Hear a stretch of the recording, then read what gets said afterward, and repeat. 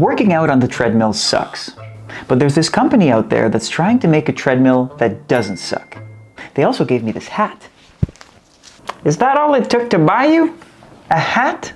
Can you just relax? Can you at least take it off for the video? Okay, fine. So this company is called Wahoo. They're based in Atlanta and later this year are coming out with the KICKR Run, which is a specialized treadmill that can go super fast, that adjusts your speed in real time, and that connects you with runners from across the world. So I had the chance to do an early test of the KICKR Run treadmill and figured I'd share my thoughts here. Essentially, is this better than a regular treadmill? And if so, how?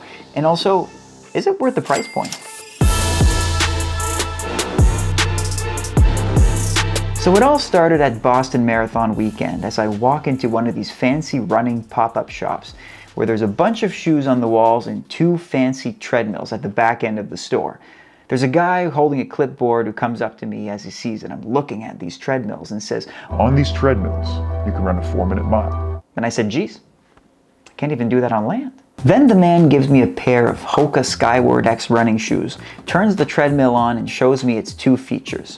The first is the default features, which basically makes the KICKR run operate like a regular treadmill.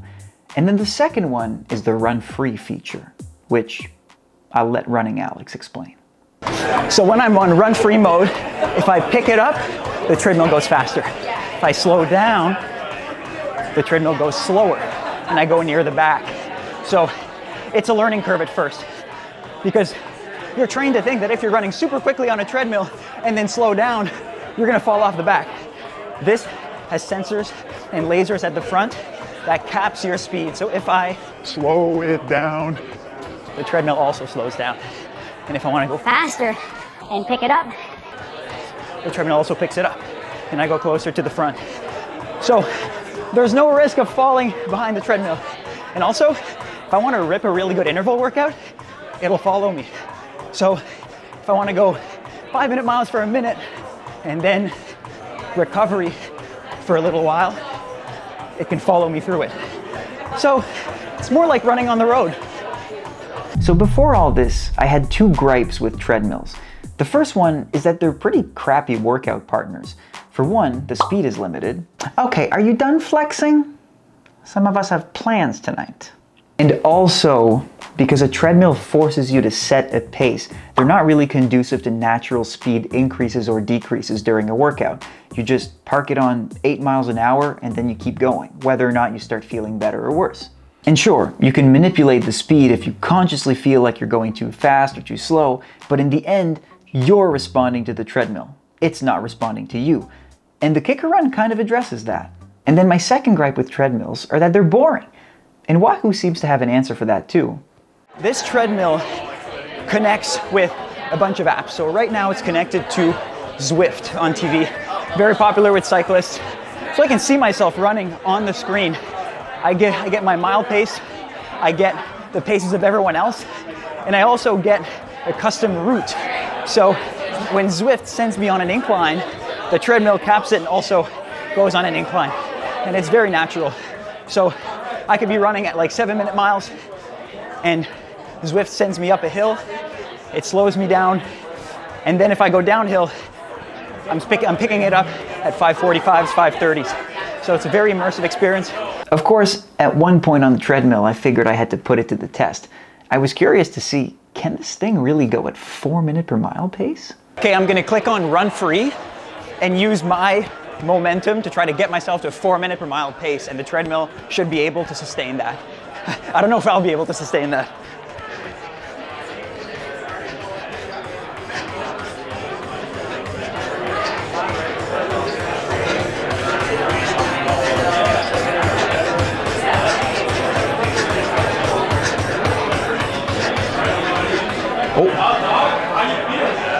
I saw 359, is that why?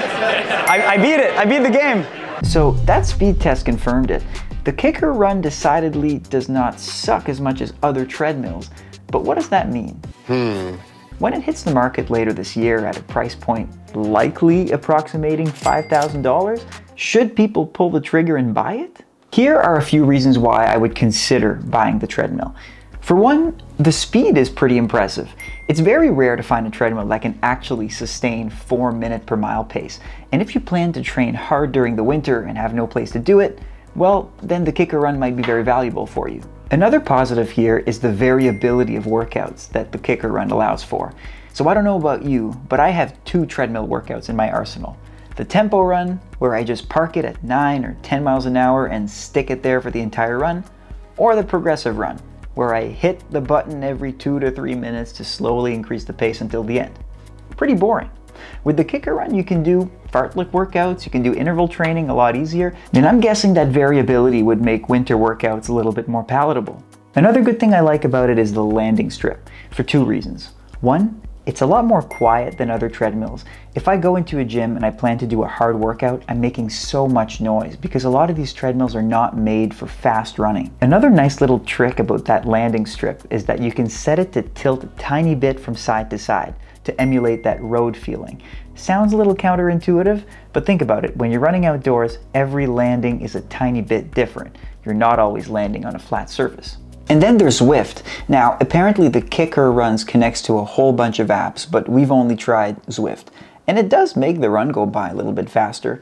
You look at yourself on the screen, you're running alongside and past other runners, going up and down hills and feeling those intensity changes on the treadmill.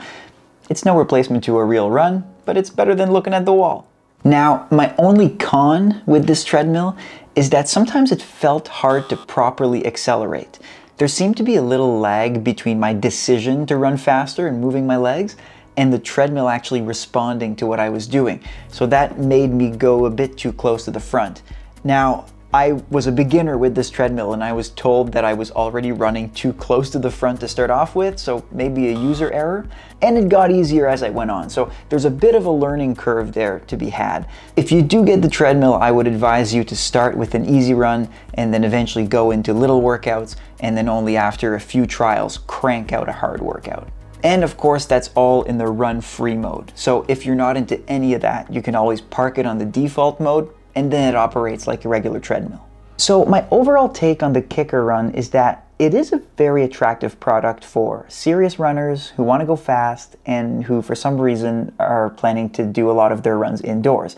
It's not for everyone. See, me, I prefer to be tough and brave the elements, but this guy is definitely a treadmill guy. Huh?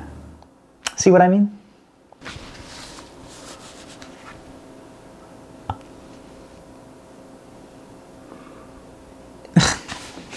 Am I kidding?